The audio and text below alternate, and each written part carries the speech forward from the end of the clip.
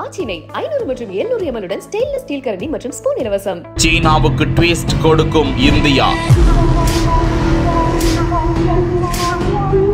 நாற்பதாயிரம் கோடியில் உருவாகிறது புதிய போர் கப்பல்.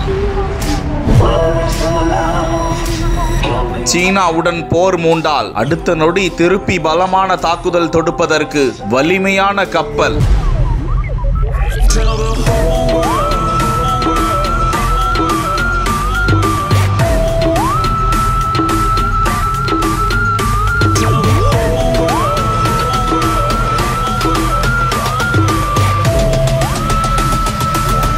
அந்த கப்பலில் என்ன ஸ்பெஷல்? வாங்க பார்க்கலாம்.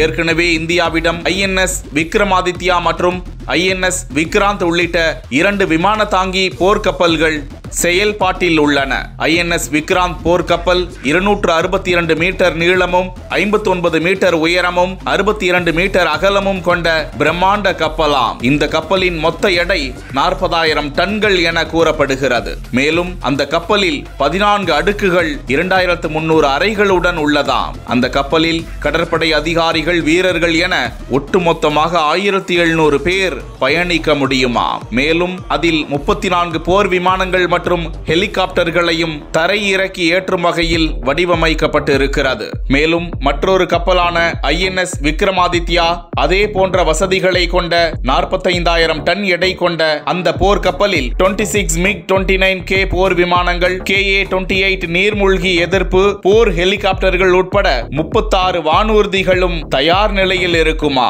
இந்த நிலையில்தான் அடுத்ததாகவும் நாற்பதாயிரம் கோடி ரூபாய் செலவில் பிரம்மாண்ட விமான தாங்கி போர்க்கப்பலை கட்டும் முன்மொழிவுக்கு பாதுகாப்பு அமைச்சகம் ஒப்புதல் வழங்கியுள்ளது. குறிப்பிடத்தக்கது. ஆச்சினை ஐநூறு மற்றும் 700 எம்எல்லுடன் ஸ்டெயின்லெஸ் ஸ்டீல் கரண்டி மற்றும் ஸ்பூன் இலவசம்.